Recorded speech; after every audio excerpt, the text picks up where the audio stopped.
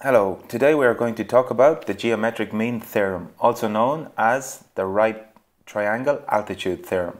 Here you can see on the screen a right angle triangle ABC where A is the 90 degree angle.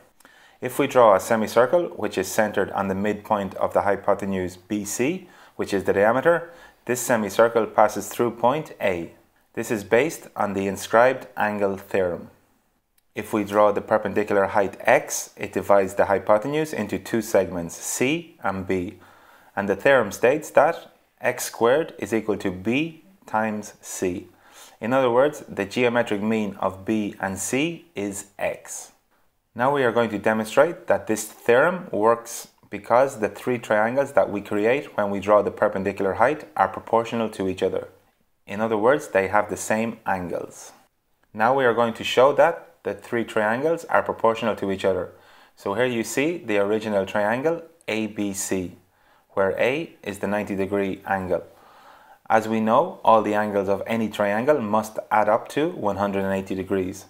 So using this rationale, if A is 90 degrees, then angle B and angle C must add up to 90 degrees also. So we will call one angle, we call angle B alpha, and angle C must be 90 degrees minus alpha, as can be seen here on the screen.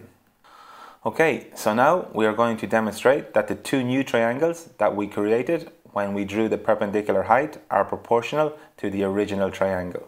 Firstly, we are going to look at the larger of the two new triangles. And as we have already demonstrated that angle C is 90 degrees, alpha and we've created a new 90 degree angle. So the remaining angle A must be equal to alpha. And finally, in the third smaller triangle, as we have already demonstrated that angle B is alpha, we've created a new angle, a new 90 degree angle. So the remaining angle A must be equal to 90 degrees minus alpha. So now, to demonstrate even more clearly that the two smaller triangles are proportional, we are going to rotate the smaller orange triangle to the right. And here you can see clearly that the three angles match exactly. As you can see here, very clearly the blue and the orange triangles are proportional to each other. So according to Thales' theorem, if the angles are the same, then the sides must be proportional. In other words, A divided by D is equal to B divided by X is equal to X divided by C. And from this relationship, we can extrapolate that X squared is equal to B times C by cross multiplying the last two fractions. So here we have demonstrated how the geometric mean formula comes about. And you can see here, if we simplify the equation by solving for x, we can see that x is equal to the square root of b times c.